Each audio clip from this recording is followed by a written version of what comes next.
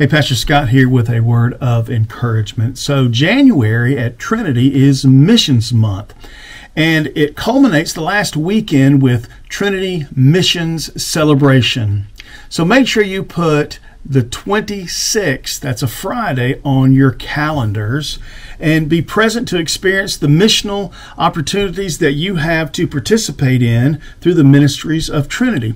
And also to make sure you're present on Sunday, the 28th, when Prabhu Singh will be our guest preacher, and members and supporters will have the opportunity to turn in a pledge card to indicate the level of their financial support for the coming year for Trinity's local and global mission partners.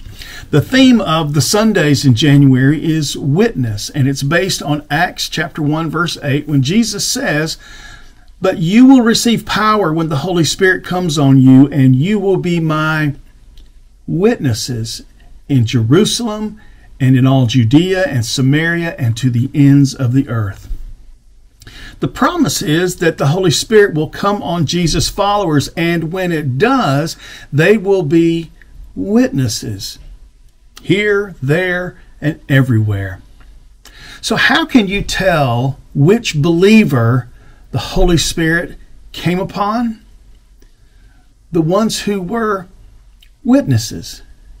So, is there a category of those on whom the Holy Spirit came upon who were not witnesses? Nope. Not a chance. Because to be a witness, that's fruit, that's evidence of the indwelling work of the Holy Spirit in a person's life. So, what do witnesses do? A witness takes the stand. They, they show up and, and they simply tell what they have personally seen and heard. That's it. I mean, that's how the Apostle John begins his letter, First John, chapter 1, starting in the first verse, he says, That which we have heard, that which we have seen with our eyes, that which we have looked upon and have touched with our hands concerning the word of life. The life was made manifest, and we have seen it and testify to it and proclaim to you the eternal life.